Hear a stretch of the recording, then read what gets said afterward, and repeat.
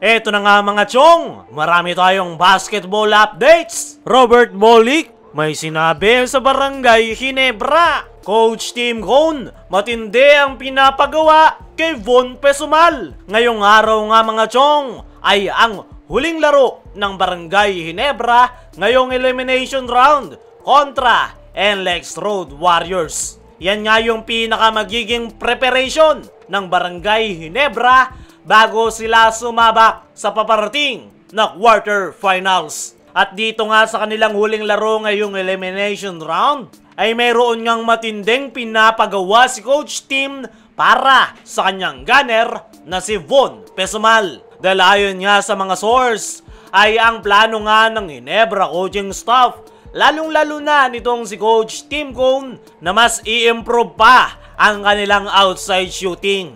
At isa nga sa pinakatinututukan ni Coach Tim Cone ay itong kanyang gunner na si Von Pesumal. Pagdating nga sa 3-point shooting ngayong All-Filipino Conference ay itong si Ralph Ku, yung pinakasinasandalan ni Coach Tim sa kanyang kupunan. Pero ngayon nga napapasok na sila sa quarterfinals ay hindi nga uubra na ito lang si Ralph Ku ang aasahan ni Coach Tim Cone pagdating sa 3-point area.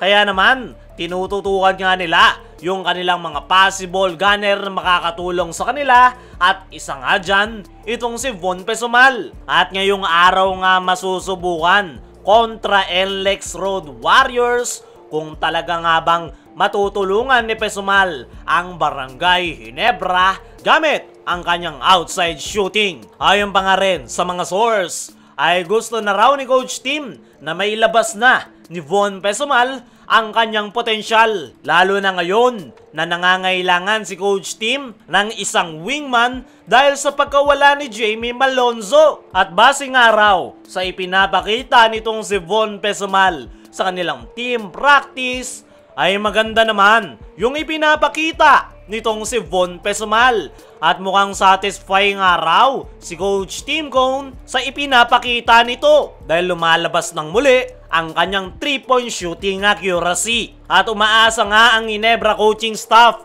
lalong-lalo na itong si Coach Tim Cone na may ta-translate ni Von Pesumal yung kanyang magandang pinapakita sa practice at may lalabas niyan kontra NLEX at sa paparating na PBA playoffs. Para sa akin mga chong, ay mahusay naman talaga itong si Von Pesumal. Nawalan lang talaga ito ng kumpiyansa matapos siyang mabangko ng mahabang panahon. Playing time at tiwala nga lang ang kinakailangan nitong si Von Pesumal para manumbalik ang kanyang rhythm sa paglalaro. At once nga na may balik yan ni Von Pesumal, ay panigurado, malaki ang may ko-contribute nito sa Inebra, lalong-lalo na sa paparating na quarterfinals. Sa ngayon ay ongoing at puspusan yung preparation ng Barangay Hinebra sa kanilang team practice. Actually, hindi nga lang si Von Pesumal ang gusto ni Coach Tim na mag-step up pagdating sa 3-point area, kundi ang lahat ng kanyang mga players. Dahil once nga raw na gumanda yung kanilang 3-point shooting, ay mas magkakaroon ng spacing yung kanilang mga big man. Gaya na lang nitong si Japet Aguilar, lalong-lalo na itong si Christian Stan Hardinger. Kaya once nga raw na uminit yung kanilang 3-point shooting ay mas gagana ng maayos ang triangle offense na hinanda ni Coach Tim sa paparating na PBA playoffs. At isa nga si Von Pesumal sa pinaka gusto ni Coach Tim na makapagpakitang gilas at maibalik ang kumpiyansa sa paglalaro. Kung si Von Pesumal ay hinahanda ng Barangay Hinebra kontra NLEX at sa paparating na PBA playoffs, ay mayroon namang sinabi itong si Robert Bolik sa Barangay Hinebra ngayong naghihingalo ang kanyang kupunan na NLEX Road Warriors na hindi makapasok sa quarterfinals. Matapos ngang matalo nitong NLEX Road Warriors kontra Reno Shine Elazo Painters nitong biyernes ay alanganin nga ngayon Lex na hindi makapasok sa PBA playoffs. At kailangan na kailangan nga nila na manalo kontra sa crowd favorite na Barangay Hinebra. Tutukan natin si Robert Molik sa report ng The Tiebreaker Times and I quote, Kailangan pakamatay kami sa Sunday sayang yung opportunity na to. Maganda nga yung panimula ng NLEX Road Warriors ngayong Philippine Cup. At ipapaliwanag yan ni Robert Bolick. Sayang yung tinundo namin 5-1 tapos 5-5 na kami, di ba? So, kailangan makamatay kami sa Sunday. Sayang yung opportunity na to. At ngayon nga na makakatapat nila ang Barangay Hinebra na secure na ang twice to beat advantage ay umaasa nga ito na magre-relax yung Barangay Hinebra dahil secured naman na daw ang kanilang top 2 spot. Baka nga raw magpahinga yung mga veterano ng Hinebra o baka naman daw gusto pang manalo ng Hinebra bago mag-start ang PBA playoffs. Sa ngayon nga mga chong ay gigil na manalo itong si Robert Bolick